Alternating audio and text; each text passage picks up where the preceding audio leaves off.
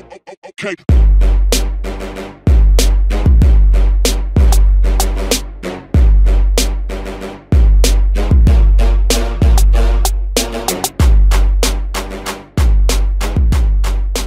Здравствуйте, меня зовут Федор Васильев. Приветствую вас в дополнительном уроке видеокурса «Уникальные виджеты Adobe Muse». В этом уроке просто очередной сногсшибательный виджет с анимацией. Практически все сообщества Adobe Muse любят всевозможные анимацию, потому что это оживляет, питает жизнь в наши сайты и что делает сайт намного-намного симпатичнее и оживленнее. И в этом уроке я вам показываю виджет специально с со шрифтовыми иконками, где можно задать не только анимацию, например, зацикленную, но и анимацию при прокрутке страницы. Например, сейчас вот я вам обновлю. Вот двух иконок здесь не видно. Я прокручиваю. А, одна иконочка прокрутилась и исчезла, другая иконочка появилась и зациклена. И есть еще, видите, а, при наведении мыши только срабатывает эффект. То есть это все в одном виджете. 73 эффекта анимации можно наложить на шрифтовые иконочки. Давайте перейдем в Adobe Muse и посмотрим настройки данного виджета.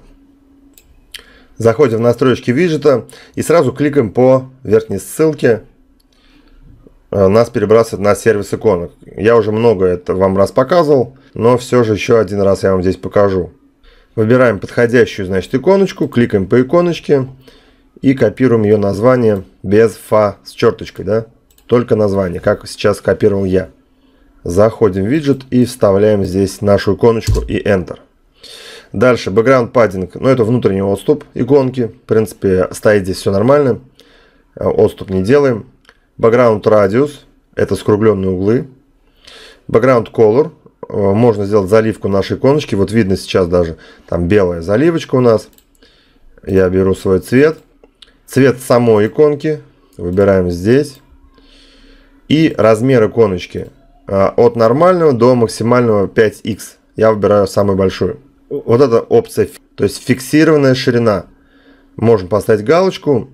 А, если мы выберем ниже еще одну галочку, у нас иконка будет все время крутиться. То есть, например, смотрите, она у нас сейчас статичная. Вот эта иконочка, которую мы с вами выбрали. Если я сейчас поставлю вот здесь вот галочку, то иконочка будет все время вращаться. Не знаю, зачем этот эффект, но вот такой есть эффект. А ниже есть еще одна галочка. Это такое же вращение, только рывками. Я эти галочки здесь не ставлю. Смотрим дальше. Икон Rotate. То есть мы можем сразу развернуть иконку, если нам это нужно. Например, это может быть какая-то стрелка.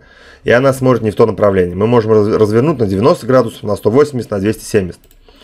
Следующая опция. Отразить по вертикали или, или по горизонтали эту иконочку.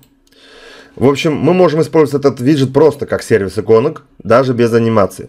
Но если нам нужна анимация, то вот здесь ниже мы ее активируем. Ставим чекбокс, вот здесь вот галочку. Тогда активируются два нижних поля. Первое поле это выбор анимации, всего 73. Можете выбрать какой-то интересный. Вот, если мы выбрали анимацию, и вот здесь у нас стоит один раз только, то анимация должна просто проиграть и все. Если выберем on hover, это значит анимация сработает только тогда, когда мы наведем мышь на эту иконочку. Infinity вам уже знакомо, это зацикленная анимация. Вот эта опция. Э, иконка появится только тогда, с выбранной анимацией здесь, только тогда, когда вы начнете прокручивать страницу. И это произойдет только один раз. И ниже опция, вам тут, наверное, ее не видно. Это то же самое, что и вот эта опция, только анимация появится при прокрутке страницы и будет проигрывать циклично, то есть бесконечно. здесь уже смотрите, как вам больше нравится. Давайте вот сделаем при наведении мыши. Посмотрим, как это работает.